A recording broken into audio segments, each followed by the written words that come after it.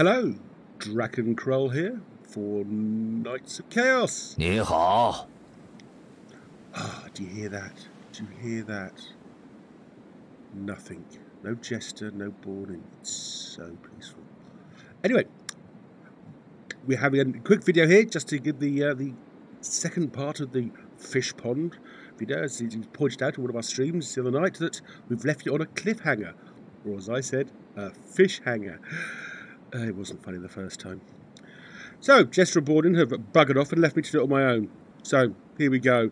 So, it was pointed out that we put the fish in. What happens to the fish once we put them in? So, let's have a look.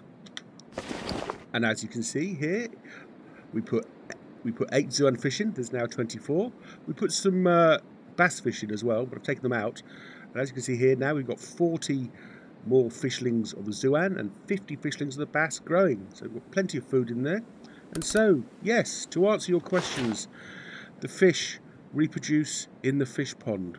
I mean, it's obvious, really. But there you go. Thanks for watching.